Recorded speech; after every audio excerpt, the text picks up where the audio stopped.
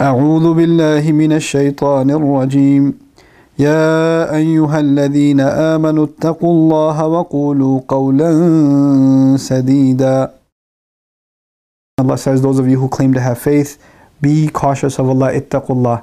This commandment of having taqwa of Allah is typically followed by another commandment. And it's actually as though to say that being cautious of Allah and being aware of the presence of Allah and being careful not to disappoint Allah or disobey Him has manifestations. So one way you can have taqwa is by doing what Allah is about to tell you in this ayah. وَقُولُوا قَوْلًا سَدِيدًا Rough translation says, and say that which is right. Say the right thing.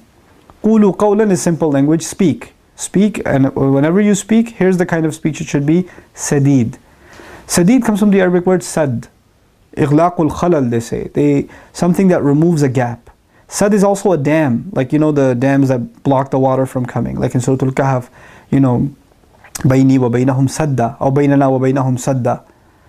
Put a, put a dam between us. Now what, what, a, what a sad does is there's no gaps in it so no water can get through and it prevents water from leaking over, right? So one of the implications of sadid is that you have to speak in a way that doesn't leave room for misinterpretation.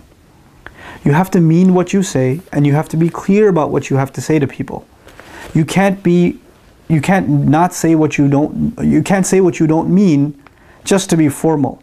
You know sometimes because there's formalities, people say things like um, you know, I, you know, you're resigning from the company, you write an email and you're like, you know, I really appreciated my time here and I thank the management for this and that and the other. You're writing this whole thing. But in your heart, you're like, I hate these people. I can't believe I'm leaving this company. These people are so disgusting, etc., etc. There's like there's completely opposite thoughts in your mind and what you're putting down in writing. This is not clear speech and this is not open speech. You don't have to be disrespectful in your speech, but you have to be honest to yourself. When I say assalamu alaikum to you and you when you say wa alaikum assalam to me and vice versa, then actually we've made an open declaration to each other that there is no beef between us, there's no quarrel, there's no fight, I have nothing against you, I have no grudges with you.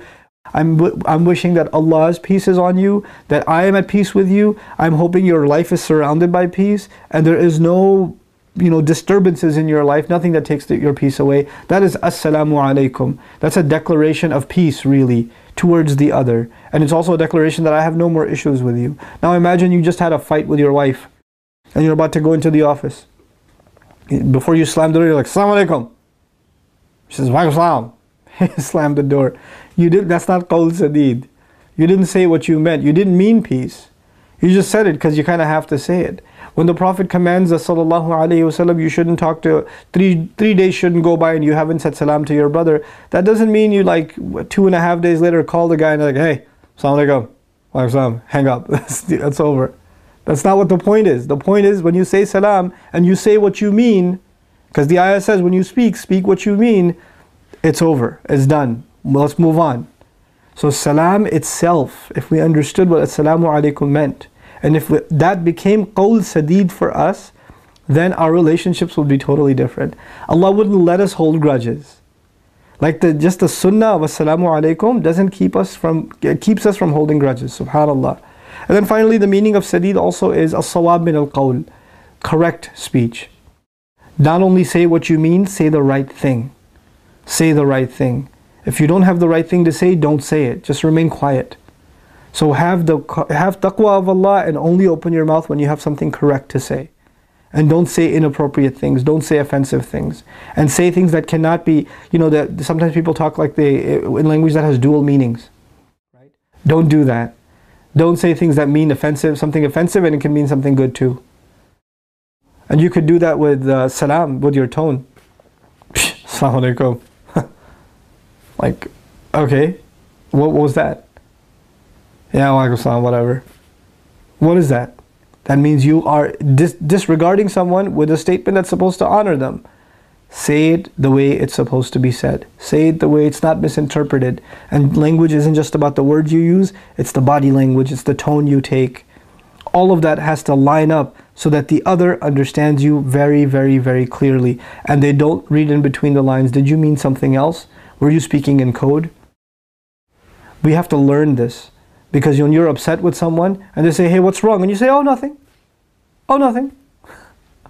Uh, yes, there is something wrong. And you need to find a respectful way, not to vent, but to let others know when something's wrong. This is part of qawl sadid also. May Allah give us the ability to be clear in our speech with each other, and may Allah really give us the ability to turn our salams into qawl sadid, into real clear and meaningful speech that gets rid of all of our grudges that we have against each other. And may Allah give us the strength to forgive one another and build on our relationships, even though we make mistakes towards each other along the way. Barakallahu li wa lakum. Wassalamu alaikum wa rahmatullahi wa barakatuh.